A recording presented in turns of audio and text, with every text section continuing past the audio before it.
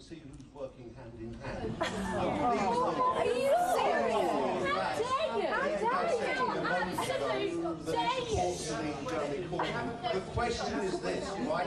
If you look around this room, how many African, Caribbean and Asian people are there? We really need to get our house in order, don't we? And that was a recommendation of your report, Labour Party has to change in terms of representation, including SPACs, not just having white boys surrounding the Labour Let's absolutely clear, including the Afro-Caribbean community, in staff, in appointments, and